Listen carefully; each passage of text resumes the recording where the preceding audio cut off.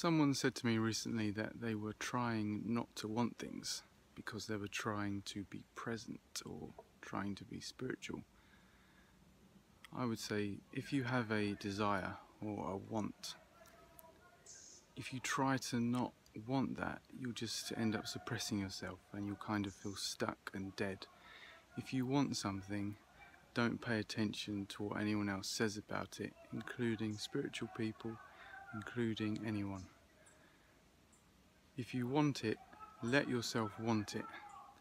Then if it's just a useless kind of lacking want, it will have space to dissolve. If it's a useful creative desire, it has space to express itself.